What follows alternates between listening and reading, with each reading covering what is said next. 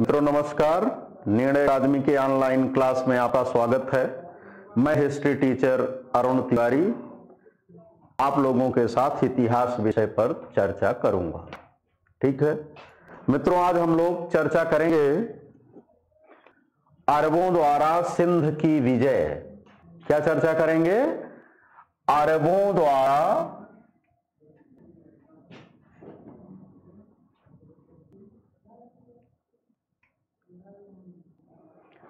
सिंध की विजय।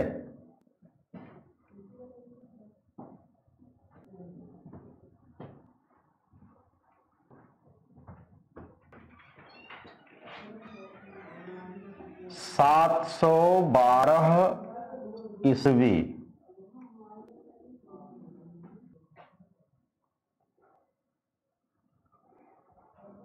ठीक है मित्रों तो आज हम लोगों का टॉपिक क्या रहेगा?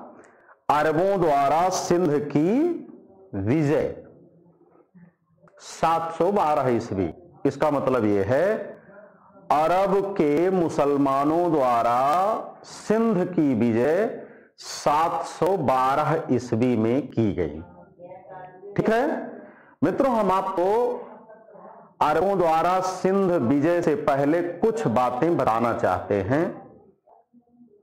जो इस्लाम धर्म से संबंधित है। ठीक है? मित्रों, आप लोगों को तो पता ही होगा कि इस्लाम धर्म के संस्थापक पैगंबर मोहम्मद साहब थे। ठीक है? हम आपको एक बात बताएँ। पैगंबर मोहम्मद के पश्चात इस्लाम धर्म के जो प्रमुख हुए, उन्हें खलीफा कहा जाता था। खलीफा। क्या कहा जाता था? खलीफा। ठीक है? ये खलीफा एक पद है।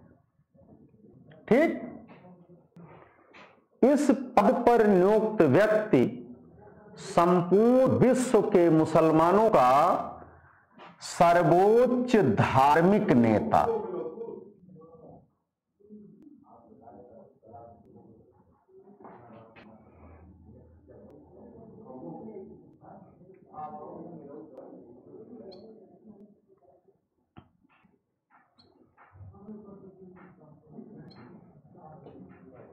और सर्वोच्च।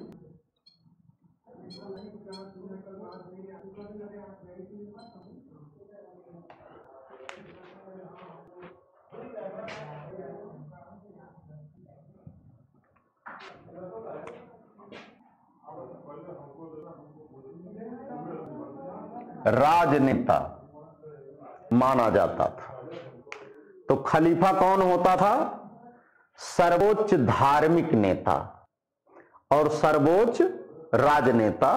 यानी कि अगर इस्लाम धर्म में किसी भी प्रकार का परिवर्तन करना है, ठीक?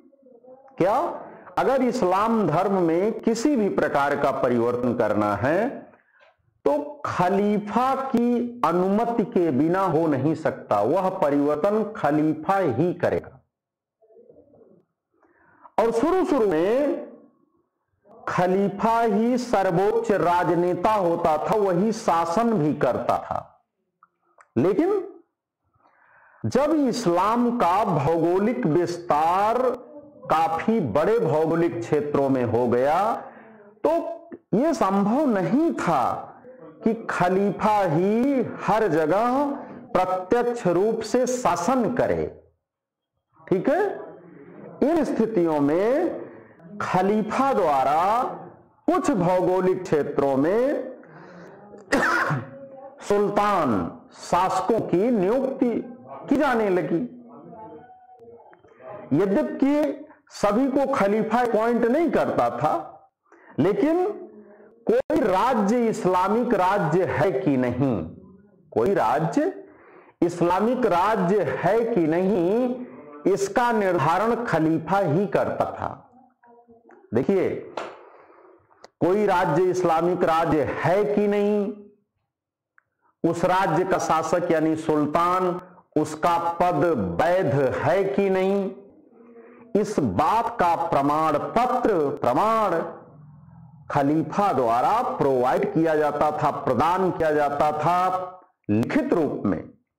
जब खलीफा द्वारा उस सल्तनत को और उस सुल्तान के पद को औपचारिक रूप से प्रमाण पत्र प्रदान कर दिया जाता था, तब उस राज्य को इस्लामिक राज्य और उस राज्य के शासक को वैधानिक रूप से मुस्लिम शासक माना जाता था। तो मित्रों, ये खलीफा का पद बहुत महत्वपूर्ण था। ठीक है। इस्लाम धर्म, अगर हम मानव के स्तर पर बात करें कि मानव के संदर्भ में उसका क्या मानना है। ठीक? तो इस्लाम धर्म संपूर्ण विश्व के पूरी दुनिया के इंसानों को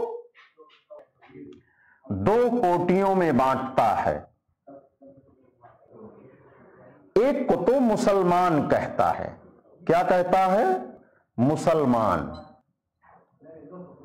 यानी जो इस्लाम धर्म को मानने वाले हैं, वे मुसलमान कहलाते हैं। और जो इस्लाम धर्म को नहीं मानते, वह कहलाते हैं गैर मुसलमान। कौन? गैर मुसलमान। ठीक है?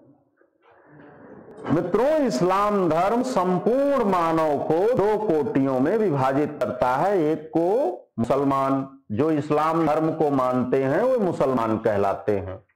जो इस्लाम धर्म को नहीं मानते, उन्हें गैर मुसलमान कहा जाता है। और ये जो गैर मुसलमान हैं, इनको भी इस्लाम धर्म दो कोटियों में विभाजित करता है, गैर मुसलमानों को। एक को कहता है जिम्मी। क्या कहता है? जिम्मी। और दूसरे को कहता है काफिर। क्या कहते हैं? काफिर। ठीक है? तो जिम्मी किसे कहा जाता है? वह गैर मुसलमान जो इस्लाम धर्म को नहीं मानता, लेकिन मूर्ति पूजक नहीं है। क्या? मूर्ति पूजक नहीं है। जैसे यहूदी जैसे यहूदी ये जिम्मी कहलाते थे। और वह गैर मुसलमान जो मूर्ति पूजक है। इस्लाम की धर्म में वो काफिर कहलाता था। ठीक है? जैसे हिंदू हिंदू धर्म को मानने वाले, ब्राह्मण धर्म को मानने वाले, इनको इस्लाम काफिर कहता है। ठीक है? तो मित्रों, जब इस्लाम का राजनीतिक विस्तार गैर मुस्लिम क्षेत्रों में हुआ, इस्लाम धर्म का एक और सिद्धांत था। इस्लाम धर्म कहता था कि इस्लामिक राज्य में, इस्लामिक राज्य में किसी गैर मुसलमान को रहने का अधिकार नहीं है। इस्लाम धर्म क्या कहता है? कि किसी इस्लामिक राज्य में किसी गैर मुसलमान को रहने का अधिकार नहीं है। अब जब इस्लाम का प्रसार, इस्लाम या मुसलमानों का राजनीतिक प्रभुत्व गैर मुस्लिम क्षेत्रों पर हुआ, जैसे यहूदियों के भौगोलिक क्षेत्र पर हुआ, जो जिम्मी थे तो एक प्रश्न उठा, खलीफा के सम्मुख कि भाई इस्लाम धर्म तो कहता है कि किसी इस्लामिक राज्य में किसी गैर मुसलमान को रहने का अधिकार नहीं है। तो प्रश्न उठा कि इन जिम्मियों का क्या किया जाए? इन जिम्मियों का क्या किया जाए? ठीक है। तो इस्लाम धर्म का कहना था, यदि जिम्मी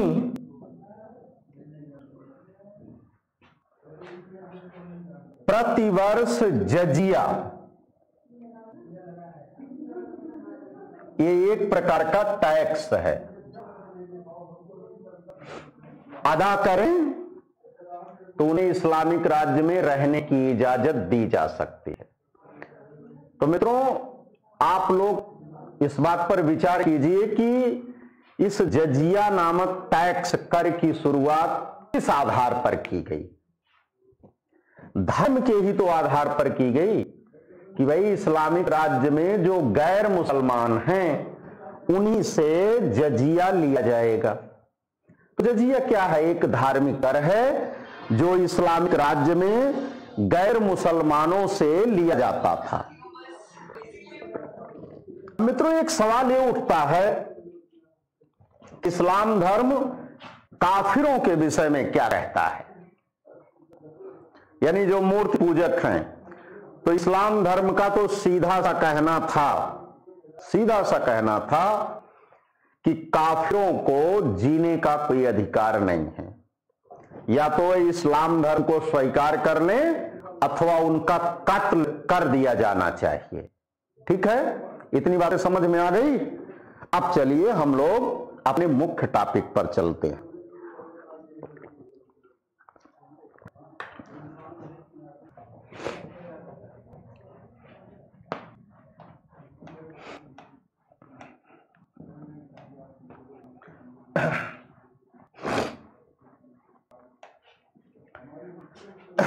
मित्रों, हमने आपको बताया अरबों द्वारा सिंध की विजय 712 ईस्वी।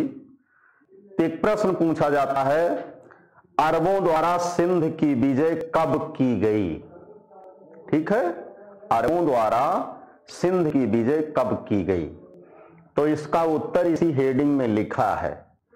अरबों द्वारा सिंध की विजय 712 ईस्वी में की गई। ठीक है? तो मित्रों, अरब और सिंध, ये दो चीज़ें हमारे सम्मुख हैं। अरबों ने विजय किया, सिंध की विजय किया। तो अब हम लोग ये देखते हैं कि 712 ईस्वी में सिंध और अरब में क्या स्थिति है। ठीक है? तो मित्रों, अगर हम 712 सौ ईस्वी की बात करें,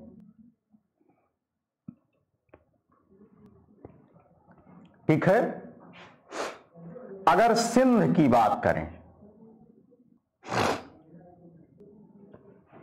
ठीक? तो सिंध पर राजा दाहिर का शासन है। किसका है? दाहिर का ये राजा है सिंध के। ठीक है?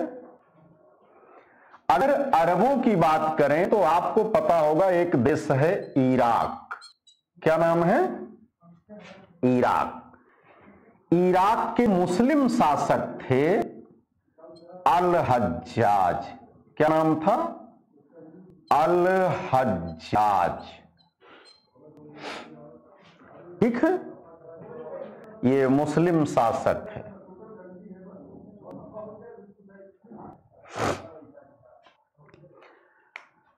मित्रों, आपको पता होगा श्रीलंका के विषय में।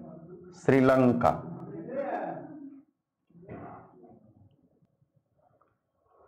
ठीक? श्रीलंका के साथ, भारत के साथ अरबों का व्यापारिक संबंध प्राचीन काल से था। जब वो इस्लाम धर्म को नहीं स्वीकार किए थे, तभी से। तो मित्रों, इराक का एक व्यापारिक जहाज़,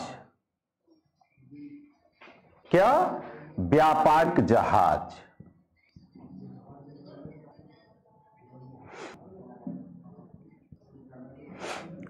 श्रीलंका से व्यापार करके इराक जा रहा था। इराक जा रहा था। तो यही सिंध के एक स्थान है देवल। ये देवल बंदरगाह भी है। इसी बंदरगाह पर समुद्री डाकुओं ने, कौन? समुद्री डाकुओं ने।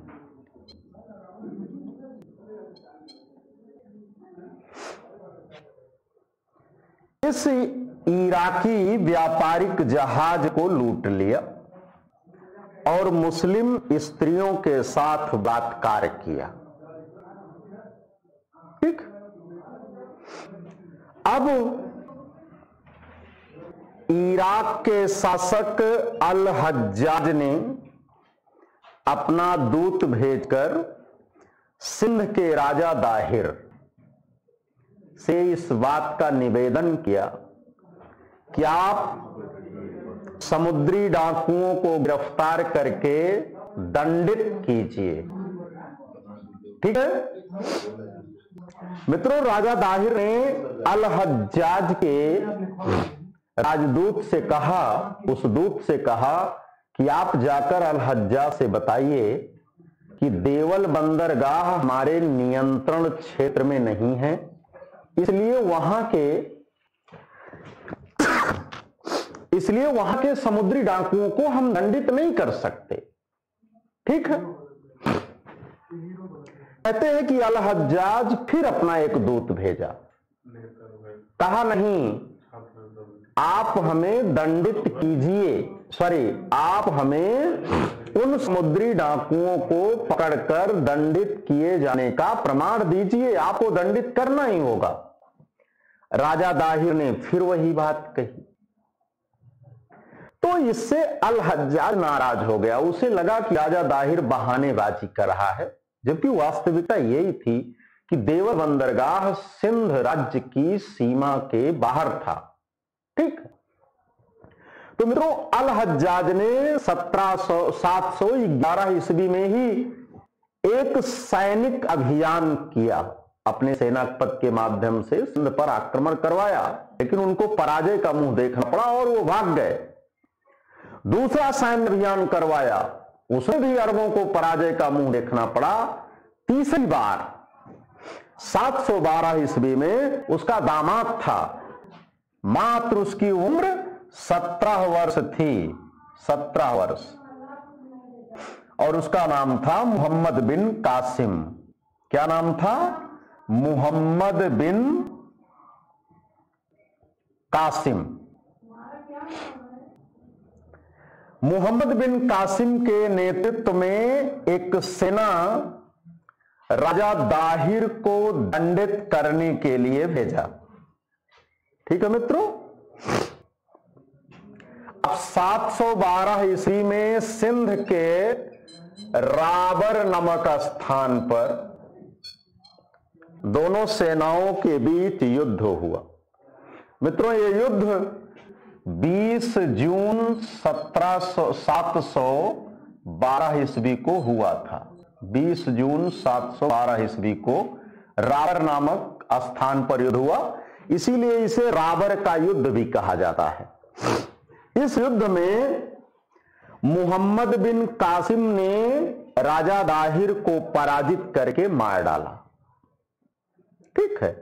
परिणाम स्वरूप सिंध पर अरबों का अधिकार हो गया। मित्रों, अब जब सिंध पर अरबों का अधिकार हो गया तो अभी हमने आपको एक बात बताया था। कि इस्लामिक जगत में सर्वोच्च पदधारी कौन है? खलीफा। उस समय खलीफा थे वाहिद। कौन थे? खलीफा वाहिद। अब मोहम्मद बिन कासिम ने खलीफा वाहिद से एक प्रश्न पूछा। पूछा, इस्लाम धर्म तो कहता है कि किसी इस्लामिक राज्य में काफिरों को रहने का कोई अधिकार नहीं। काफिर या तो इस्लाम धर्म को स्वीकार कर लें, अन्यथा उन्हें कत्ल कर दिया जाए। तो मोहम्मद बिन कासिम ने पूछा कि, अब बताइए क्या करें? सिंध में तो लगभग सब काफिर हैं और सबको इस्लाम धर्म में परिवर्तित करना संभव नहीं है। और सबका कत्ल करना भी संभव नहीं है। जब सबका कत्ल ही कर देंगे तो हुकूमत किस पर करेंगे? है ना? किसे हम टैक्स का कलेक्शन करेंगे? और फिर वहाँ हुकूमत करने का तात्पर्य ही क्या होगा? मित्रों, अब इस्लाम धर्म को अपने मूल सिद्धांत, इस्लाम धर्म का तो उदय ही मूर्ति पूजा के खिलाफ हुआ था। मूर्ति पूजा, इस्लाम का, मूर्ति पूजा का विरोध करना इस्लाम का तो प्राण तत्व है। उसके बिना तो इस्लाम जीवित ही नहीं रह सकता। इस्लाम धर्म जब भारत जैसी पवित्र भूमि पर पदार्पण किया तो उसे अपने मूल सिद्धांतों में परिवर्तन कर देना पड़ा। खलीफा वाहिद ने नया रेगुलेशन पारित किया। हमने आपसे बताया था कि धार्मिक मामलों में किसी भी प्रकार का परिवर्तन करने का अधिकार खलीफा का होता है। खलीफा वाहिद ने एक नया रेगुलेशन जारी किया और कहा, चलो भाई, इन काफिरों को भी जिम्मी मान लिया जाए। और यदि वह, और जिम्मियों को इस्लामिक राज्य में रहने का अधिकार कैसे मिलता? जब वो जजिया नामक कर अदा करते। ठीक है? तो मित्रों, काफिरों को भी जिम्मी मान लिया गया और ये कहा गया, यदि वे जजिया नामक कर अदा करें तो उन्हें इस्लामिक राज्य में, सिंध राज्य में रहने की इजाज़त दी जा सकती है। तो मित्रों, मोहम्मद बिन कासिम पहला मुस्लिम शासक है जिसने भारतीयों पर जजिया नामक हिंदुओं पर जजिया नामक कर लगाया और उसे वसूल किया। प्रश्न पूछा जाता है कि वह प्रथम मुस्लिम शासक कौन था जिसने हिंदुओं पर जजिया कर लगाया? तो इसका उत्तर क्या होगा? मोहम्मद बिन कासिम। ठीक है? मित्र, मोहम्मद बिन कासिम ने अपनी सेना में हिंदुओं को शामिल ही किया यह भी प्रश्न पूछा जाता है। पहला मुस्लिम शासक कौन था जिसने हिंदुओं को, जिसने हिंदुओं को अपनी सेना में शामिल किया? तो मित्रों, उसका उत्तर होगा मोहम्मद बिन कासिम। ठीक है? और एक बात और बताएँ, मोहम्मद बिन कासिम आगे बढ़ता हुआ 713 ईस्वी में कब? 713 ईस्वी में मुल्तान की भी विजय कर ली। किसकी? मुल्तान की विजय कर ली ठीक है? मुल्तान की विजय कर ली। और मित्रों, मुल्तान में अरबों को इतना अधिक मात्रा में सोना प्राप्त हुआ, गोल्ड, कि उन्होंने मुल्तान का नाम स्वर्ण नगर रख दिया। क्या रखा? स्वर्ण नगर मित्रों, ये प्रश्न पूछा जाता है, अरब या मुस्लिम? मुल्तान को क्या कहते हैं? तो मुल्तान को मित्रों स्वर्ण नगर कहते थे। एक प्रश्न पूछा जाता है स्वर्ण नगर का तात्पर्य किस नगर से है? तो स्वर्ण नगर का तात्पर्य मुल्तान से है। ठीक मित्रों? अब मित्रों एक सवाल उठता है कि मोहम्मद बिन कासिम का क्या हुआ? विजय तो कर लिया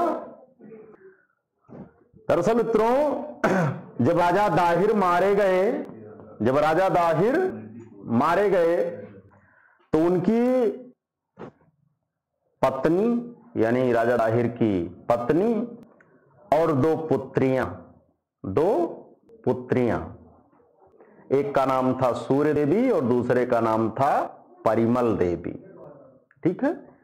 वह दोनों गिरफ़्तार कर ली गई थी। दोनों पुत्रियाँ और उनकी पत्नी। मित्रों, इस मोहम्मद बिन कासिम ने राजा दाहिर की पत्नी से विवाह कर लिया। और दोनों पुत्रियों को खलीफा वाहिद के लिए गिफ्ट के रूप में बगदाद भेज दिया। ठीक? मित्रों, जब वह दोनों पुत्रियाँ राजा दाहिर की दोनों पुत्रियाँ बगदाद जा रही थी तो अपने मन में ये विचार करते हुए जा रही थी कि इस कमीने मोहम्मद बिन कासिम से कैसे बदला लिया जाए। ये मेरे पिता का हत्यारा है, सिंध की विजय करने वाला है, मेरी माँ के साथ उसने खुद विवाह कर लिया है, इसे बदला लेना आवश्यक है।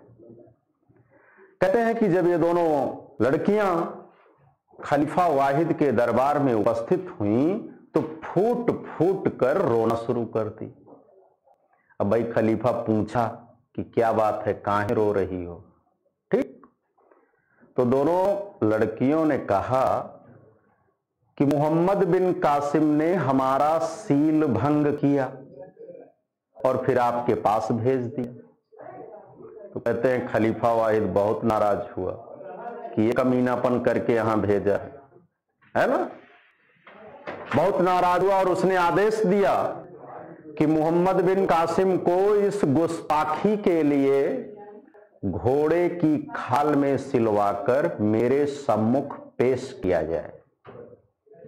मतलब मोहम्मद बिन कासिम ने आदेश के अनुसार किया, यानी आदेश का पालन किया। अपने आप को घोड़े की खाल में सिलवाकर खलीफा के सम्मुख पेश करवाया। और आप सोच सकते हैं कि सिंध से बगदाद की दूरी बड़ी लंबी है।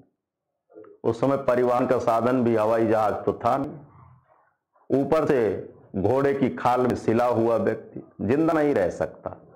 जब खाल खोली गई तो मोहम्मद बिन कासिम मृत पाया गया। और जब यह नज़ारा दोनों लड़कियों ने देखा तो दोनों लड़कियाँ हंसना शुरू कर दी। खलीफा पूछा, आप का हुआ? काहे हंस रही हो? तो दोनों लड़कियों ने, जानते हो क्या जवाब दिया? कि हम तो झूठ बोल रहे थे। हम तो झूठ बोल रहे थे। ये तो हम सिर्फ़ बदला लेने के लिए ऐसा किए थे। मित्रों कहते हैं, खलीफा फिर नाराज़ हो गया। और नाराज़ हुआ तो क्या आदेश दिया? इन दोनों कमीनी लड़कियों को घोड़े की पूंछ में बांधकर तब तक घसीटा जाए, जब तक इनकी मृत्यु ना हो जाए। और ऐसा किया गया। ठीक है मित्रों? अब थोड़ा सा ये हमने पूरा सिंध विजय का एक जो भी इतिहास था, वो मैं आपको बताया। अब एक बार हम आपका थोड़ा सा फिर से रिवाइज करवा देते हैं कि यहाँ क्या प्रश्न हो सकता है। ठीक है?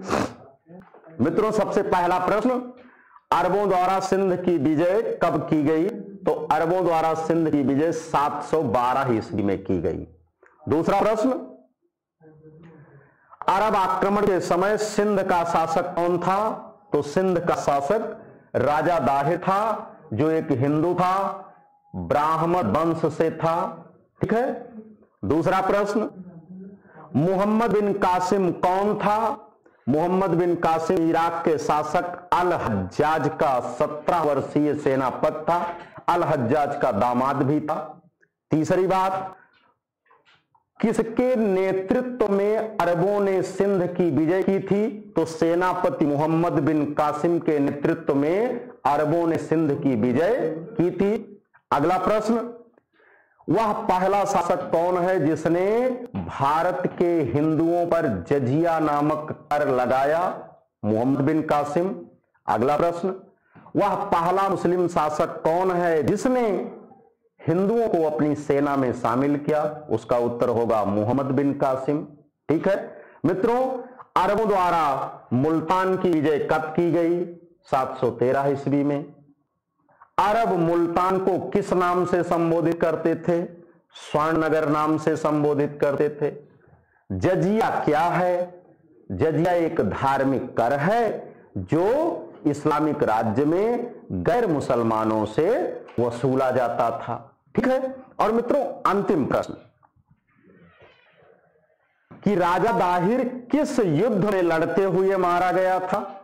तो राजा दाहिर राबर के युद्ध में लड़ते हुए 20 जून 712 ईस्वी को मारा गया था। राबर नामक स्थान कहाँ है? राबर नामक स्थान भारत के सिंध राज्य में स्थित है। और लास्ट बात, अरबों द्वारा सिंध विजय का वर्णन किस साहित्य में, किस पुस्तक में मिलता है? क्या प्रश्न? अरबों द्वारा सिंध विजय का वर्णन किस पुस्तक में मिलता है? तो मित्रों, उस पुस्तक का नाम है चचनामा। किस पुस्तक में? चचनामा। ठीक है? चचनामा में क्या है? तो चचनामा में सिंध का इतिहास लिखा गया है। आप लोगों के मन में एक प्रश्न चल रहा होगा कि चचनामा किसकी रचना है? किसने लिखा है? तो हम आपको बता दें, किसी व्यक्ति विशेष की रचना नहीं है। वो कई शताब्दियों तक लगातार लिखी जाती रही है। अन्य अनेक अलग अलग विद्वान लेखकों द्वारा तो कोई व्यक्ति विशेष इसका रचनाकार नहीं है। हाँ अरबों द्वारा सिंध विजय का वर्णन इसी चचनामा में मिलता है और चचनामा में सिंध का इतिहास लिखा गया है। ठीक है मित्रों, इस क्लास में बस इतना ही। Thank you.